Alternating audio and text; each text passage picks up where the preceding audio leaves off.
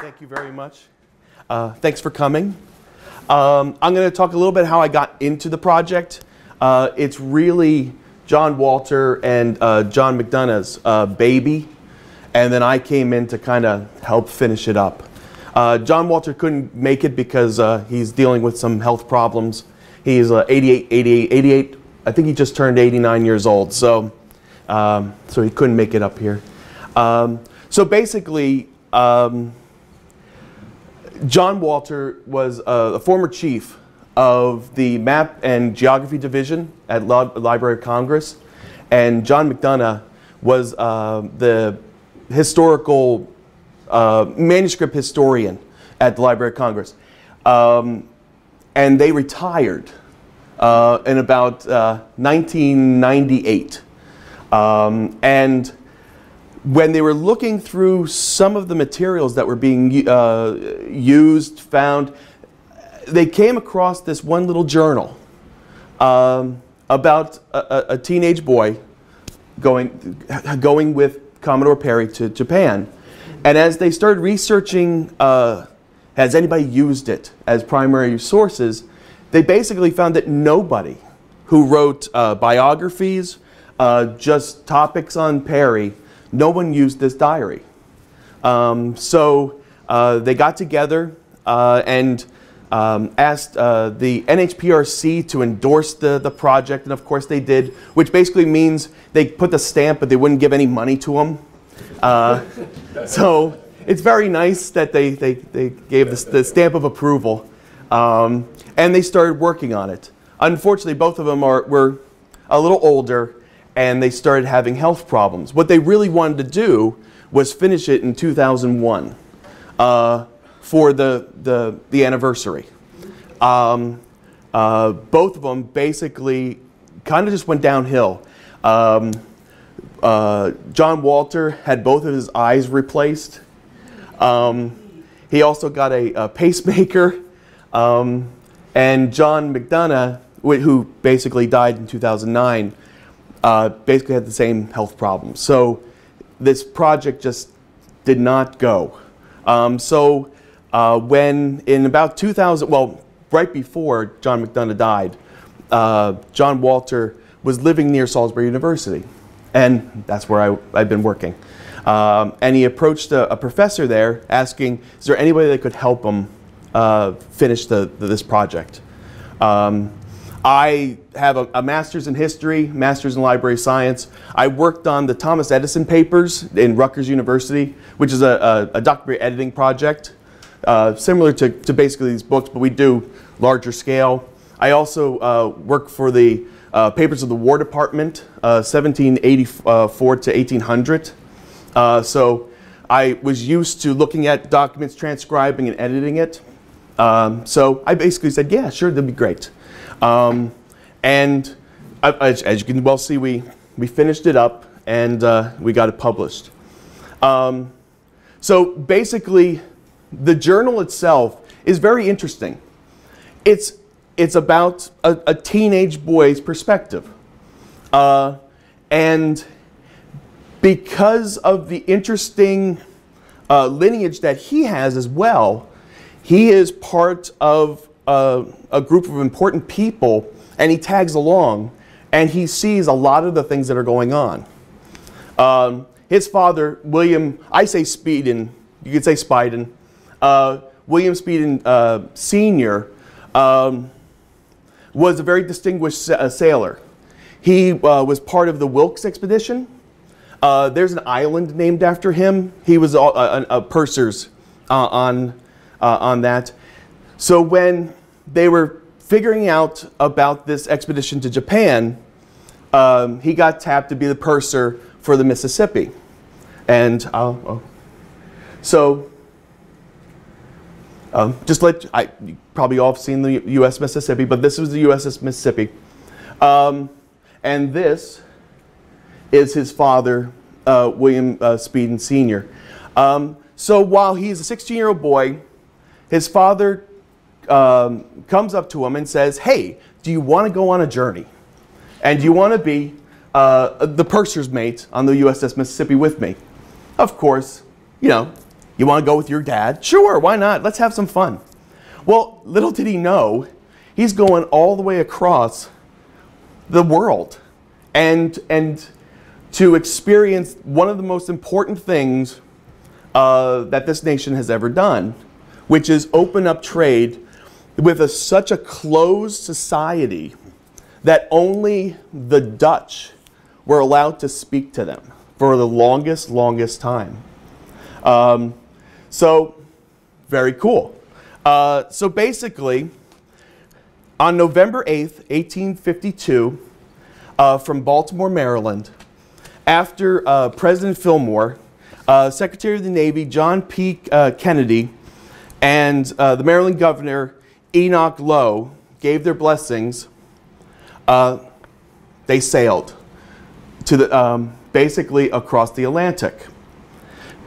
After a brief stop at Madeira, they arrived at the island of St. Helena at, uh, on January 10th, 1853.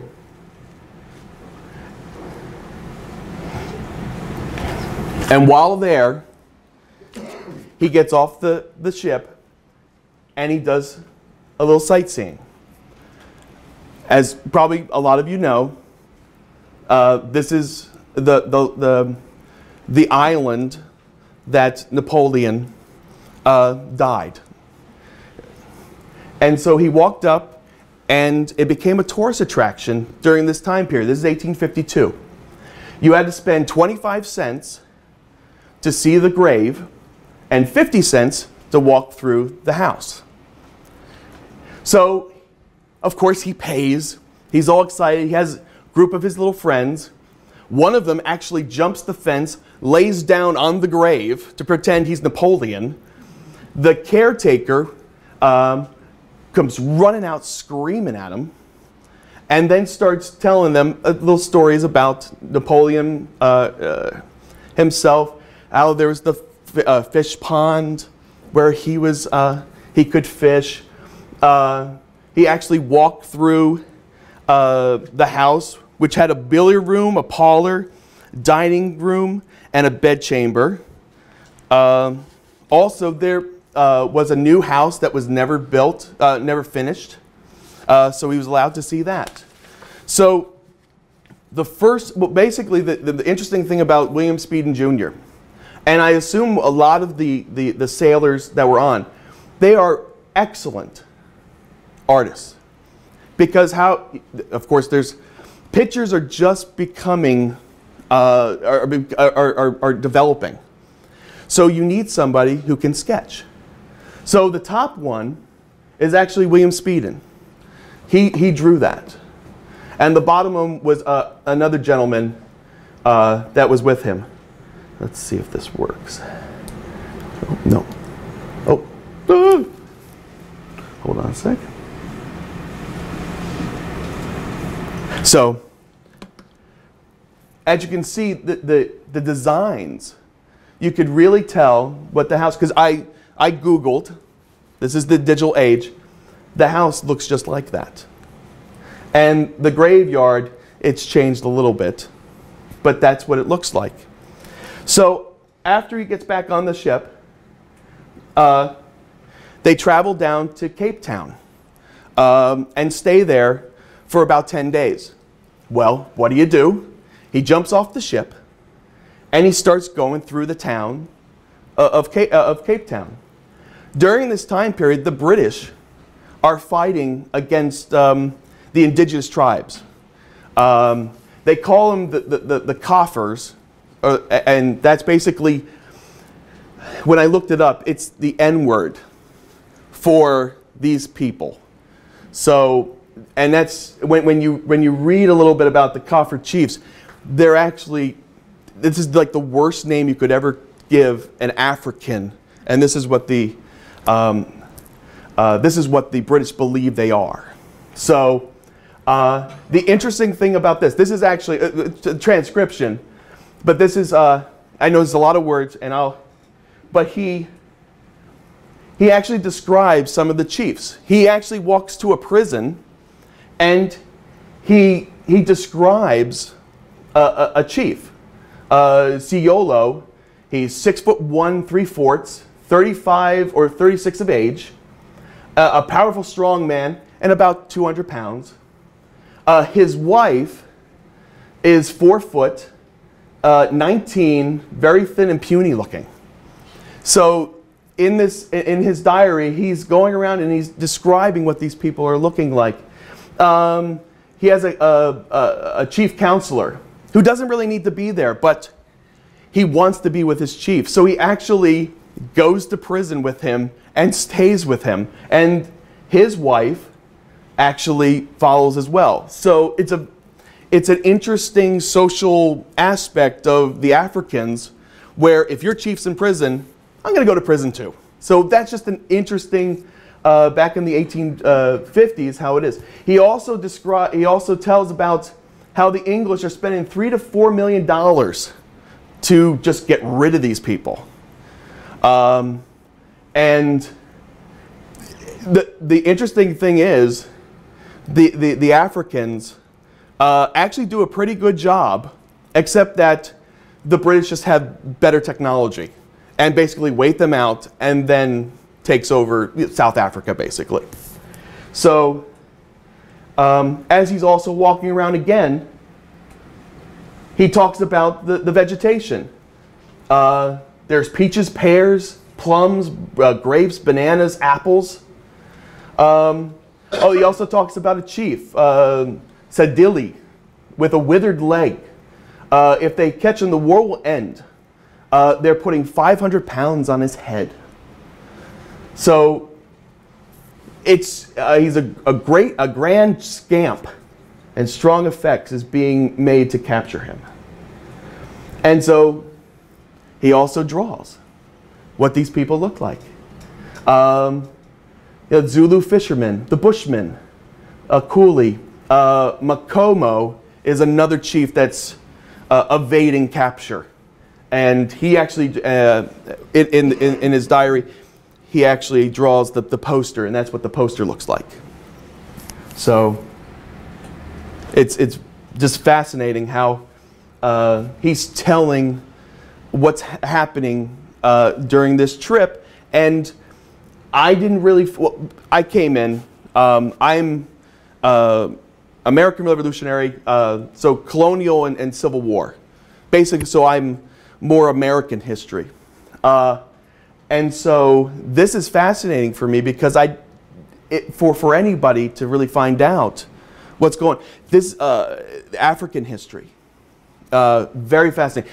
T today in, uh, in, um, in academia, African history is being pushed to be taught. Um, a couple years ago, was Latin American, uh, and now they're, uh, they're trying to push African history. So uh, I find this very fascinating. So as you can see, they go around the, the Cape, uh, and they go to Mauritius, and they head towards China. the Mississippi uh, basically continues across the, the Indian Ocean. And for a better part of a month, April 7th to May 4th, 1853, the Mississippi remains on the China coast, during which time Speiden took a side trip by fast boat up to Pearl River uh, to Canton. Um, on April 21st, uh, upon departing from the city, Speiden and his comrades had what he calls a jolly time fi uh, firing crackers and sending off rockets, uh, leading to the conviction that the Chinamen must have thought we were a set of demons just let loose. So then on May 23rd, after the ships were um, scrapped and, and, and painted, the squadron sails to uh, Naha in the Luchu Islands. And basically, that becomes the, the headquarters uh, for Commodore Perry. Uh, trying to open up trade, you also trying to find um, uh, coal, provisions, clean water. So if we know we're coming from the Pacific, we want to make sure we have stopping points. Just like when they were going to the Atlantic over, you had to stop at Mauritius, you had to stop at uh, St. Helena, Cape Town to um, fuel up basically. So now he, they're trying to find, as you can see, they're, they're, they're scavenging around trying to find the islands that have coal because this is during the time period where our sailing ships are, although they do have um, um, uh, sails, we're now moving into steam engines and coal engines in our, in our, in our ships. So we want to make sure we, we have the fuel.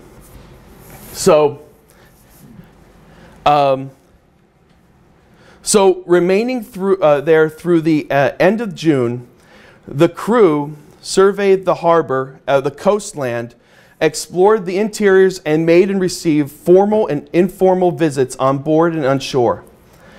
By daybreak on July 2nd, coaled and, and freshly provisioned, uh, the Mississippi made the final approach to Japan. The first sighting of Japan uh, came early in the morning of July 8th, and four ships proceeded up the, to the Bay of, of, of, Edo, which is basically Tokyo Bay, uh, to the point opposite of the town of Uraga, where they anchored at 4.30 p.m there is immediate contact with the Japanese.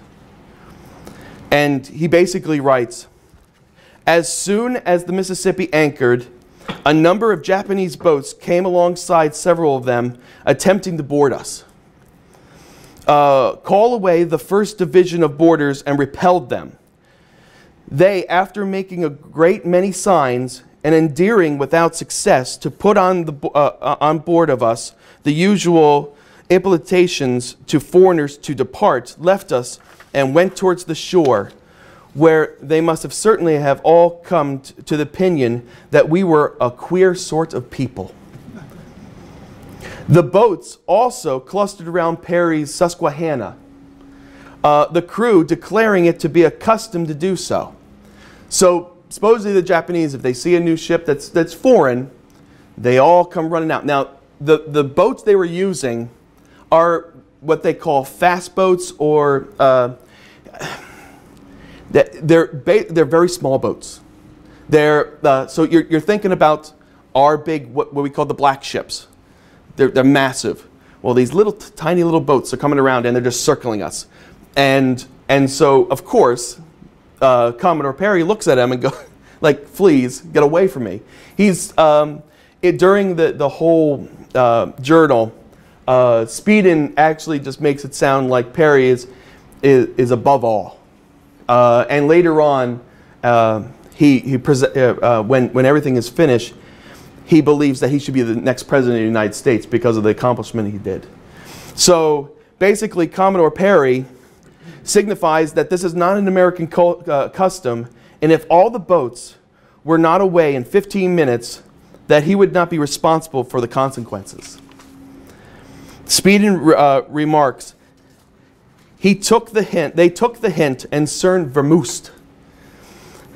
This visit uh, was basically the, uh, basically the beginning, uh, which lasted uh, only a few days, but basically they, they started um, posturing with each other to make arrangements so that um, Perry could deliver the president's letter of, of uh, opening up trade, and as well as presenting Perry's letter of, of credence uh, to make sure they know that he's uh, uh being the uh, he's the one that has the honor to present these letters.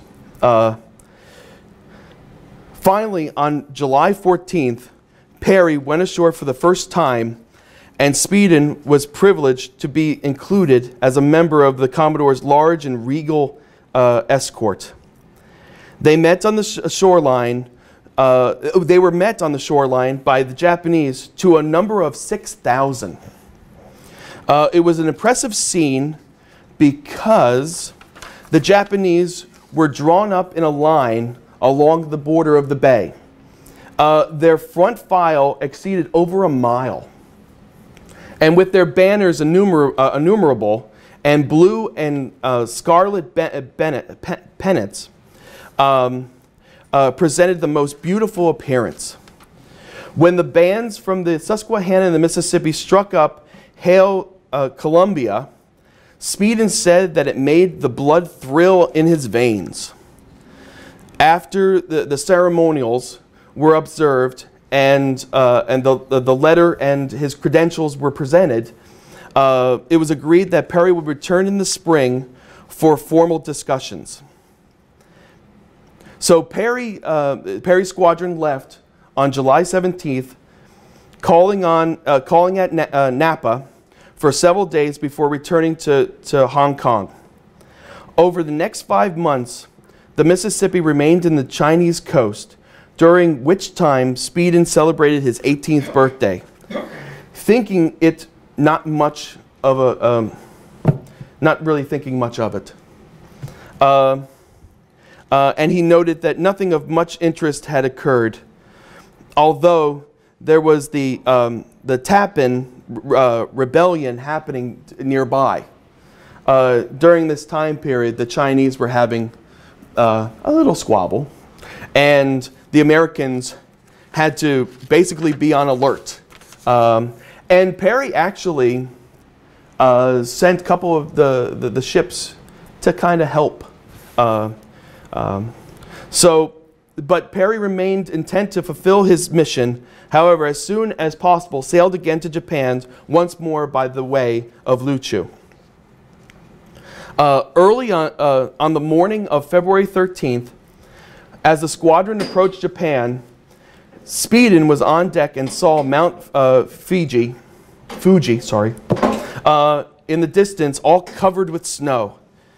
Soon after, the, the American ships entered uh, Edo Bay, and shipboard visits from Japanese officials began anew.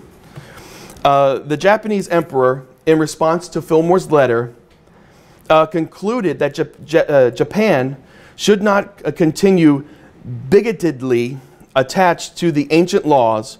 To do so would seem to misunderstand the spirit of age, and it was time to conform uh, to the, the necessity uh, required.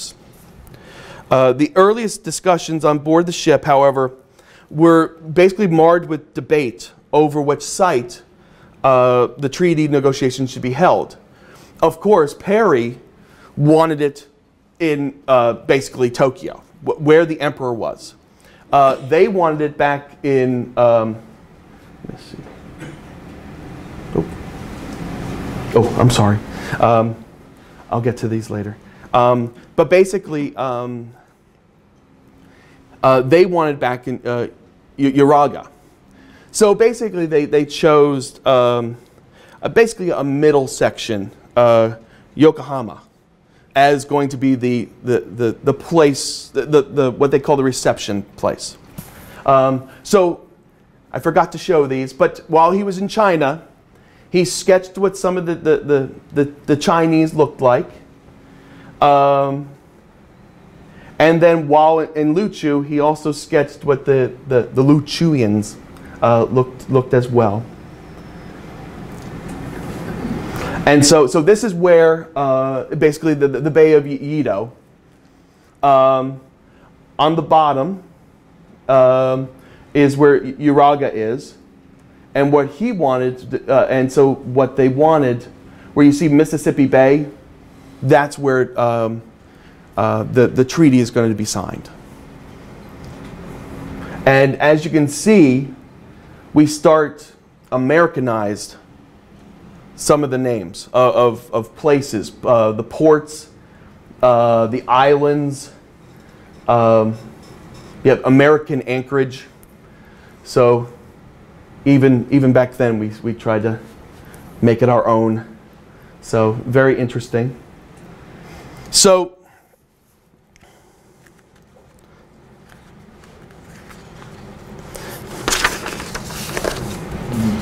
So when preparations of the new site was finally completed on March 8th, Speiden was not fortunate enough to be included in the party to go ashore, but the chaplain on the Mississippi filled him in to all the accounts of the, the proceedings. Uh, recognized this was an important and great day.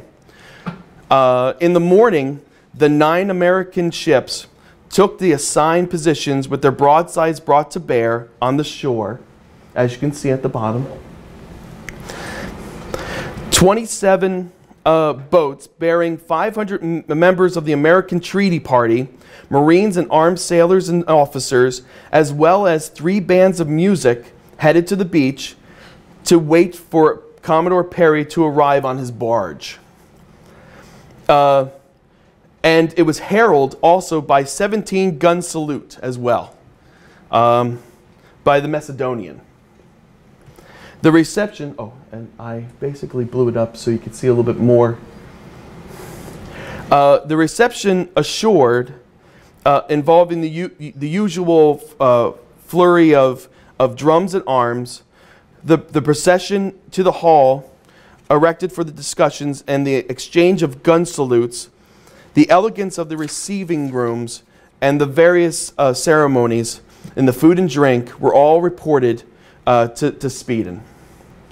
Um, the first day of the conference ended in 3.30, and the Americans returned to their ships. And, and Speiden, what optimistic about the, uh, about the outcome, he basically uh, remarks, we think that the Commodore will get all that he reasonably asked for or expects at this time. Uh, they seem to show every disposition to be accommodating. And then the three sketches which greatly uh, enhanced the, the account of the first day's deliberations, was the, the, the sketch. Um, this sketch of the actual conference room, which was uh, drawn by uh, Anton Portman, who was a Dutch uh, interpreter during this time period, as I, I, was saying, the Dutch were the only ones that had any communication with, um, with the Japanese. Um, and so when, when the Americans, or, or, or anyone, the British, uh, the Russians as well, the Russians at this time, I, I should, I, I, should mention, the Russians at this time were trying as well open up trade with Japan. And we were trying to beat, the, beat them at it. Um, so um, so if you had to talk to the Japanese, you had to get a Dutch interpreter because the Japanese had a Dutch interpreter. So basically, it was a it was a three-party system, and it's very interesting because how do people interpret what other people are trying to say? So I bet it took very long time, eh, a very long time. Eh, I bet it took a very long time to have the uh, the conversations. Uh, um, so so basically Anton Portman um, drew this uh, where the, the Japanese are on the, the right and the Americans are on the left. Um, and you have uh, Commodore Perry, you have uh, Commander Adams, uh, Portman's in the middle, you have uh, Commodore Perry's son, uh, Oliver Perry, and you have um, S.W. Williams, who was another interpreter. So uh, that's the only, they were the only ones to negotiate uh, the treaty. So on March 17th, Perry went ashore again to continue the negotiations with some high prince who recently arrived uh, from, from Yedo. Another group uh, from the squadron was also ashore, busily uh, assembling some of the gifts that were uh, presented to the Jap Japanese. Uh, one, of the one of the more remarkable was a miniature railroad consisting of an engine, car, and, and, and tender, and the length of a track. Uh, downstairs on the scroll, um, there, there's, there's a drawing of the, uh, of the, the the railroad track. And, and another thing that they were also setting up was a, a telegraph line. They wanted to show people, uh, the Japanese, oh, there's a new form of communication, as well as other little trinkets here and there. But um, basically, uh, Speiden, who had not seen it yet, but had heard of it, but was um, basically it was a perfect piece of workmanship.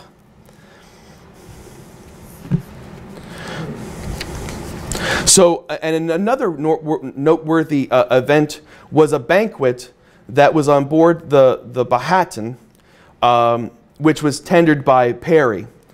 Uh, basically, uh, to show uh, hospitality, he brought some of the Japanese um, uh, officials to the ship and they had a, a little party.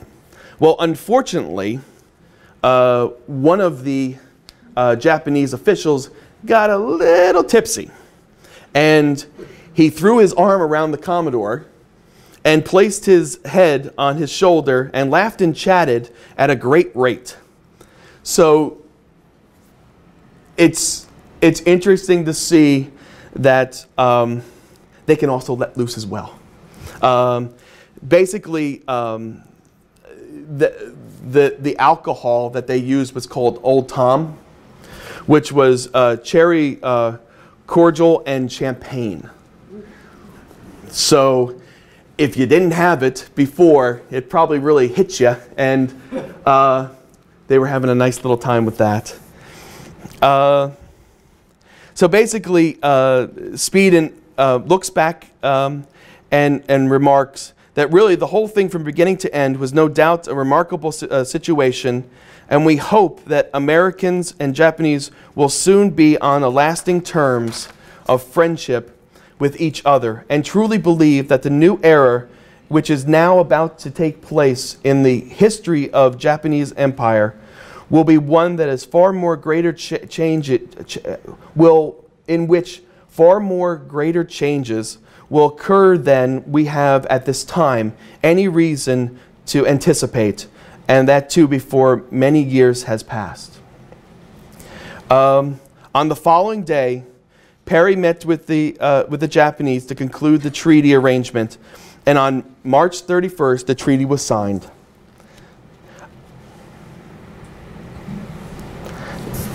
And this is a, a drawing that the Japanese uh, uh, sketched about uh, Perry uh, during that time period. Uh, as you can see, he's Japanese now uh, which I bet you guys didn't know. Um, but it's very interesting to see how, uh, and you can see downstairs as well uh, that they, you, you like to, what we call it, uh, Americanize or Anglize, they Japanized um, the, the figures. So, um,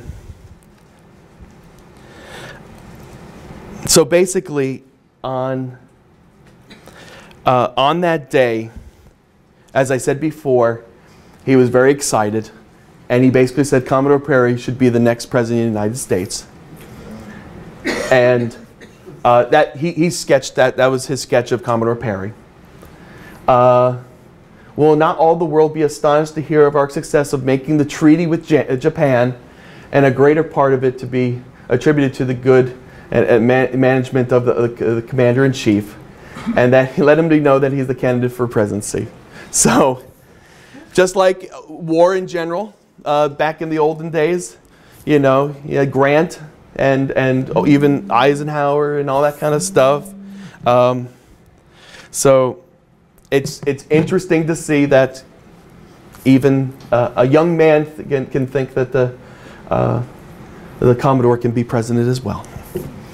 Uh, on April 10th, uh, Perry attempted to see the forbidden city of Edo, but um, was basically um, was turned back because the officials, the Japanese officials, threatened hara-kiri if he and and and basically what he did was he saluted the emperor instead. Um, in the days to follow, the squadron began to disperse, and um, April 18th, the the Powhatan, with Perry aboard and the Mississippi, sailed to, to the ports uh, of uh, uh, Shimoda, uh, Shimoda and Hakodate. Uh, oh, these words are. Um, basically, those were the two ports that opened up uh, because of the treaty. And they wanted to visit it and, and make sure everybody knew who we were and all that kind of stuff. Also, um, Perry also goes back to Luchu, the island of Luchu, and they also set up a, a compact uh, with Luchu. So in this whole situation, he opens up trade with Japan, but he also makes another port with the Luchu, Luchuians as well, which is uh, uh, very, very interesting as when you look at to, when you look to see um, what he needed to accomplish. This was kind of like a side note. You need to make sure that you wanted to uh, open up trade. Uh, on September 11th, 1854, Perry uh, basically left and he traveled overland to America, which we still don't understand why. Uh, um, he, he leaves the, the, his command and he goes across to, to Germany, basically. He goes to, to Dresden. And the interesting uh, thing about it, he also brings with him his flag lieutenant, uh, Silas Bent, who uh, did a lot of the, the surveys. And uh, John Wolter, uh, he's very interested about this. About a couple months later in Germany, you see our charts pop up. And so we're trying to figure out why Germany. Why, um, we could, I could understand maybe the Dutch, uh, maybe England, but why, when he goes across, does he stop in Dresden and all of a sudden, a couple months later, the, the charts that we, uh, and the surveys and all that kind of stuff we did, they, they come out of Germany. So it's a very interesting thing why he went across. Uh, we're still trying to figure that out. We might do a little article to try to figure that out. So uh, it's just a, a, really interesting thing. So basically, after that, uh, uh, basically heads home. Uh, stops over in Hawaii. Uh, before he hits Hawaii, they go through a typhoon and basically almost wrecks the Mississippi. But they, they go to Hawaii and then they, they go to um, um, uh, California, uh, San Francisco. He has um, relatives there. I, they were going to port anyways. The Mississippi was heading there. But then you find out that he has um, relatives there and he starts from November 21st to December 16th. He reports what's going on in, in California. He's going up to Sacramento. He's going to uh, uh up the American River uh, where the first uh, gold rush was found. Uh, he also has a tour with uh, Thomas Larkin, who was a U.S. Um, consul to the uh, California Republic. And he, he promoted basically back in, that, uh, back in the time where California was, uh, they're trying to get California to be a state, but they're not. So they're basically what Texas did. They wanted to be a republic, but then we basically we got them to be, to be statehood. Um, he wanted, basically he was promoting what they called the Bear Flag uh, Revolt. Um, and he was the signer of the original California uh, Constitution he basically has a tour with him. And it's just an interesting thing where his father, I guess, is, is so well known because of the, the Wilkes expedition that he has, he, you know, he, he's a little famous. So his son follows his father and then he meets these pretty important people uh, and explains that.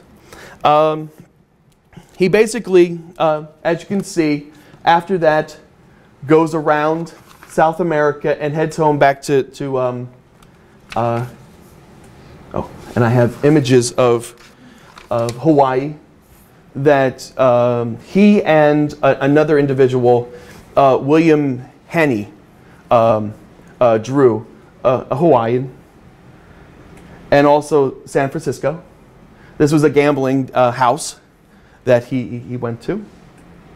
Um, so basically, he, he, the Mississippi ends up in Brooklyn uh, Navy Yard. And on April 23rd, 1855, from 315 to 350, Perry visited the Mississippi for one last time, two days before it was decommissioned. Um, so that was his last time he ever saw the Mississippi. Um, uh, basically returns back to China in 1856 uh, to be the, the United States Navy storekeeper at Hong Kong. Uh, for health reasons, he returns back to the United States in 1860 and then resumes his post back in 1861. Um, and then from 1870 to 1910, he's in charge of the coastwise um, entry and clearance desk in, in Brooklyn. Um, he passes away in, his, uh, in, in New York City uh, August 20th, 1920, and he basically is buried in uh, Greenwoods uh, Cemetery in Brooklyn. Uh, he's, I, I tried to figure it out. I think he's the second to last person to be alive uh, during this exposition. There was just one other person I could figure out. Um, so what happens is he becomes a, a spokesperson for the Perry expedition. He writes a huge article in the uh, Japan and American uh, in 1902. That, that's basically during the time period where they're doing the celebration. Um, he also goes around New York City and talks to garden clubs, women's clubs, uh, churches on the subject of, of, of, the trade of the Treaty of Japan. He also blasts people uh, in the New York Times if people were saying bad things about Perry or the, the, the Japanese expedition. Um, as you can see, oh, this, basically this one here, a word of protest from one who was with Perry in 1853, uh, and he wrote it to the editor of the New York Times, and then he you know, signs it at the end, a member of the Perry Squadron. Uh, so basically, uh, there was an article basically saying this was, was as horrible, and he went to the defense of Perry and, and, and America. Um, so the other interesting thing about the Speiden uh, Journal is what's called pith paintings. There are over uh, 29 of them. And basically what pith paintings are, I, I can figure it out, they're like postcards, uh, Chinese postcards. Um, and the interesting thing uh, with them is they're only 3 by 4 in size and painted with what's called watercolor and what's called gouache. And when this mixture uh, mixes up, it makes it look 3D. So he has these wonderful uh, uh, postcards of China that he picked up. So you got criminals, you got the um, uh, imperial family, but you can start seeing that they all look the same. So as like postcards, there's probably one person doing the exact same thing over and over again. Um, oh, this is the imperial family again. Um, we got a Chinese painter and uh, the governor of Canton and his son and daughter, but they all look the same. Um, and then a showman. Uh, and then here's some of their uh, junks and, and, and barges. And then some uh, um, scenic landscapes that they have. And the, the journal itself now is down in the Library of, Con- uh, uh, the Library of Congress. And when you actually look at them, this doesn't do justice. They are so bright and brilliant, and, and they just they come right out. It's a wonderful, um, uh, just wonderful artistic uh, expression. Uh, again, um, here's warriors. Um, um the, those are just uh, beggars or craftsmen. So basically, that's that's the Perry expedition through the eyes of uh, William Speiden Jr. So thank you very much.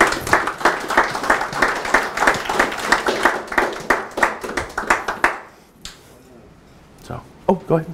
Uh, you know about the connection with Newport with this whole family? Oh, I've heard it. Yes.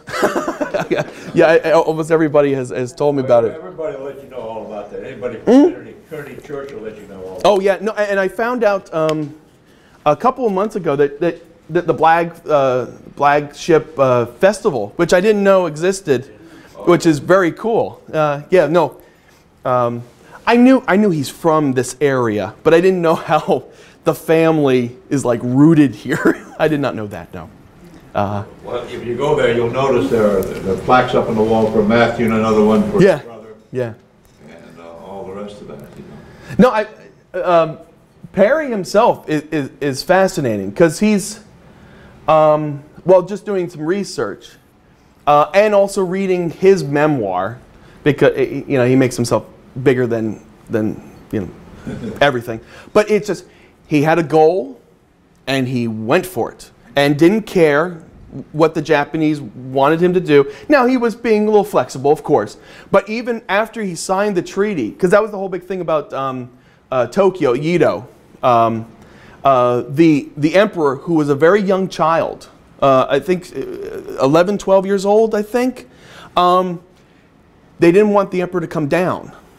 So they basically said, no, no, no, we don't want anybody to come to the Forbidden City. And after he signed his, his treaty, as I said, he went, you know what, I'm going to visit.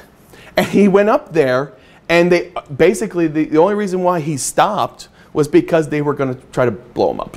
You know, they were going to do a suicide bombing on, on the ships. So, uh, so he very nicely just saluted him. So, uh, but yeah, he was an interesting, interesting character. The treaty that was negotiated is called the Treaty of Kanagawa. I noticed you didn't uh, mention that. Oh, the, The Kanagawa.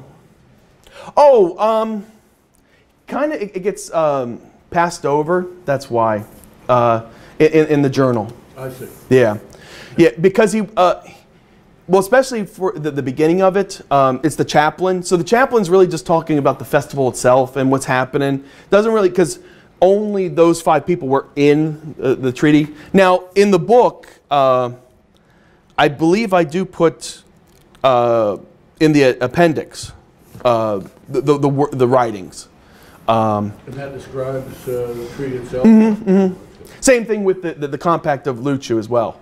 Um, also, the interesting thing about um, the, the journal, which I, I didn't really talk about because there's so much to talk about, is that um, he also uh, writes kind of verbatim what the logbook is saying with the Mississippi.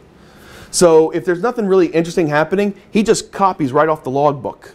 You know, we saw a whale, we saw this, that kind of stuff. So that's that's an interesting thing about the um, um, the, the journal itself as well, is that you see uh, one person dies, one person gets injured. Uh, they had a throw away three barrels of pickles because it went bad, that kind of stuff. So uh, very interesting. And then also the general orders as well are is in, in the book as well too. Yeah. Oh, yeah. Okay. Were there any lethal uh, altercations between the Perry party and the Japanese? No, but with uh, Luchuians, yes. Uh, William Board. Uh, basically, I think he got drunk, tried to rape a, a, a woman, and the Luchuians ca- came out and stoned and drowned him. So, mm. and so what happened is they find out, and Perry basically goes berserk, and he goes, you, you know, you're touching an American kind of thing. But then they find he finds out what ha- why why they did it because the, the the William Board he got a little bad, and so yeah, so that's the only thing that I know um, in, in the journal itself. Um, interesting thing as well is um, in Luchu, there's actually uh, an American burial, uh, a graveyard, uh, because the grandson of is it the grandson of uh, John Adams? He dies during the um, during the trip, and he's actually buried uh, in Luchu. I'm trying to remember uh, his name, but yeah. So, but I, that's the only thing that I remember. Uh, there's another time where he sent uh, ships out because there were pirates. Uh, so he sent one of the ships out to, to stop the pirates from uh, harassing people, that kind of stuff. But the only like real confrontation was was that that he mentions is William Board. Yeah. And so so even with the the uh, well the the the compact of Luchu, they, they actually in the in the compact say you can't touch our people. If something goes wrong, you have to bring them on board, and then we deal with them our way. And if we deem that he needs to be back to the to, to, to the inhabitants, then we'll do it. But you don't take the law in your own hands. So, yeah, yeah. Sure. You mentioned that Commodore Perry uh, left his, his flagship Mm-hmm. and, and traveled overland. Yeah. He traveled, where did he, where did he start that journey and? Oh. uh, And also, is there, uh, are there any writings about uh, Perry that, uh, as far as his intent in Germany, uh, was that unexplored or is this something? Uh, well, um, in his memoirs, he doesn't say anything. He just basically says he leaves, um, and he and he goes uh, overboard, uh, over ground, over land.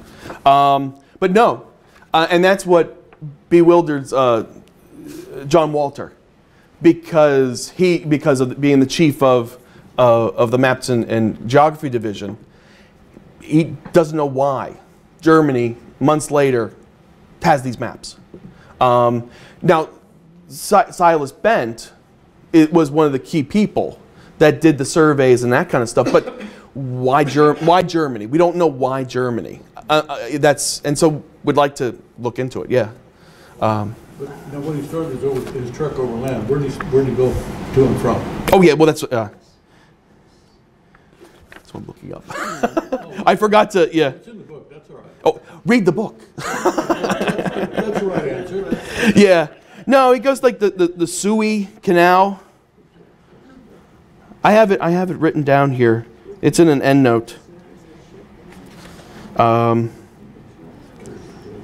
but yeah, yeah, no, I because I, I, I figured out like what, what, what was his, his trip. I I- noticed the ships didn't transit in companion with each other, they just rendezvoused at various places. Unless you, unless that, that the major, um, because most of them were going out to see about the islands, surveying all the islands around, all the coastlands. Um, but when the only the only time they really got together was the, the big ceremony time where they had to be broadside, so we could see you know show our strength basically. So yeah. Oh, I gotta find it. I, I always like it because I because this was one that took a long time. Oh, go ahead. How many ships were in the, fleet when you returns? Oh, uh, well, major ones, it was, it was seven. Seven, but then you also had the, uh, the store ship and all that kind of stuff. Yeah. No, there was the, um, it's the Susquehanna, the, the Saratoga, the um, uh, Mississippi, uh, Macedonian, uh, the Pa- Powhatan, and I'm missing two others. But yeah, Read the book. Yeah. Go ahead, yeah. Is there any understanding of the power structure in Japan? Not that, um, but the, the interesting thing was when, when Perry did come up and say, I want to talk to the big boss, uh, the little, um, basically the, what you call the governors, they all came out and said, we're it. And he goes, no, no, no, that's not it. Uh, so he knew that there was this, this forbidden emperor that no one was supposed to see. And they actually, um, well, truthfully, well, in the book, one person comes out, says he's the big boss, and he goes, No, you're not it. So then another person comes out and says, I'm the big So there was this big chain of, of the high priest, uh, uh, high prince, that they were just kept going, going, going until he said, I want to see your emperor. And they said, No, you're not allowed to. So then the, the one closest, which I think it was the uncle of the emperor, he comes down and he talks to uh, Commodore Perry. So yeah. But th- there's not really that much uh, discussion about, um, well, how the, the, the structure is, is made, like the fiefdoms, that kind of stuff. They, they don't really talk about that kind of stuff. So yeah, yeah. I call it, it's fief. I say it's not really fiefdoms, but it's that kind of, That's the end of the shogunate. yeah, yeah. I'm trying to, this is gonna kill me that I can't find this. Go ahead. Did Perry have his own interpreters, or did he just use the Dutch? Dutch and Chinese. I forgot to mention the Chinese too. But no, he, he didn't have. He, he, no, no, reverse that. Um, he did have one. But then he picked up another one in China. And that was uh, Portman. Uh, yeah. That I know of. I, I would assume, you know, there was, because you had the Dutch, you have the Chinese. So yeah. Just uh, Go ahead. a thought that ran through my mind was Perry at the uh, Washington Conference of 1852. Because I know there's a lot Oh. of resentment against the British. When you asked about why, Yeah. there was a lot of resentment against the British for, you know, taking over the, the uh, prime meridian. And this guys who thought that. If you can see that. line. No, I don't. I don't know. I don't know. Sorry. Oh, go ahead. How was, this supposed to be financed? how was the whole trip financed?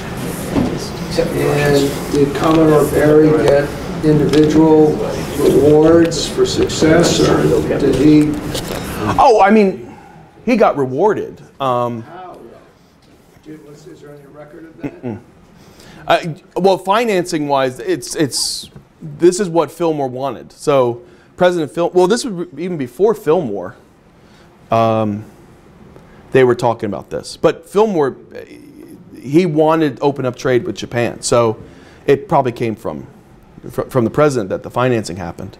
Um, I'm trying to think of. Um, I do not know what kind of uh, awards or uh, that kind of stuff that he got, but I assume he did. I mean, uh, He didn't live too long afterwards. Well, yeah. They lived until 1858 when he died, yeah, so he wouldn't have had too much time to receive too many accolades. right. but yeah, yeah, to live on it. But yeah, Answer man. yeah. No, he, he was in bad shape. He died of cirrhosis of the liver. So I did not know that. Yeah. He- In fact, I was going to mention, that he was buried right over here locally in the local cemetery. Oh, okay. Oliver Hazard, Matthew, and Okay. the father and the mother, Mm-mm. and uh, his daughter Ann, who, The whole gang is yeah, who predeceased him. Oh, cool. Uh, Down in New They were buried in That's who they would. Um, the Newport, no, Newport Cemetery. Did you? Can you? Could could you read it? Yeah. It was like the pen, like the peninsula. Yeah. Cirrhosis from drinking or disease? Oh, I was. He stopped in Germany, remember? The Oktoberfest. It was Oktoberfest for the whole time. Yeah, yeah and that's yeah. No. How old was he? Oh, heavens. Let's see, he was in one, uh, probably a midshipman then, so Oh yeah, no. maybe around 60. Could have. Probably. I'm just, uh, Well, not well. Back in those days, no. Portman, uh, one of the things. you find Get on time, Portman. Is he uh, goes on to, he goes back to Japan also. Mhm. And uh, liaison for the American companies over the American businessmen and things like that. Makes a pretty big name for himself. Yeah. Um, But he was Dutch, right? Yeah. Yeah, he was a Yeah. Dutch interpreter, so Yeah, Dutch interpreter. language. And so he did real well. So I figured Spivey might have even had a better contact when he went back. Oh, sure, you know, and also be and um, uh, and just with all the, the the the drawings and everything, a lot of them come from him and William um, Heine. Uh, those are the two big ones. Uh, they actually do uh, during this time period. They're doing um, glass negatives, and they they um, a lot of that stuff. Uh, well, a lot of the the glass negatives got lost, but yet the the drawings from the glass negatives still exist. And yeah, so that's another thing. There's so there's so much. On your Perry getting off and going overland, did he get off in San Francisco or was it Panama or he went across? Oh no, it's it's China. It's right before they go to the Pacific. What was He it? went Yeah, across- yeah. He went across Europe and Asia. Well, what was it? It was it was uh, Suez, Sudan. Yeah, the canal. The Suez Canal, so he went up really from the, uh, from like Steamer. eight, Yeah. Okay, here you go. So it's uh, No, no Suez Canal then. Yeah. So well, there's no, but it's the the the. It's the peninsula, uh, and then and then he goes to Vienna, Dresden, Berlin, and then Holland. What page is that? Uh, two thirty one. Uh, note number twenty two. Now, the train, Portman was involved in the establishment of the train in China, or in Japan rather, from uh, Yeah. uh, Tokyo to Yokohama. So they didn't have trains or anything for the most part. Train, when, when they took over that gift for the emperor, that was the first introduction for that. And then Brown the- University has a website for anybody that likes to really delve around on the computer. Uh, If you go to their Asian Studies uh, at Brown University, they have a uh, wonderful collection. They have another set of um, the black ship scrolls like we have downstairs, plus they also have a lot of photographs. And uh, you can see uh, a lot of pictures that they, they have that we don't have in our collection um, from the uh, Anna S.K. Brown, uh, yeah, Anna S.K. Brown Library over there. She has a wonderful collection of military. Is that Hayes or is it? It's in Haynes. Is it- I thought, Yeah. okay. Yeah, it's on the third floor of the Hayes, I think it is.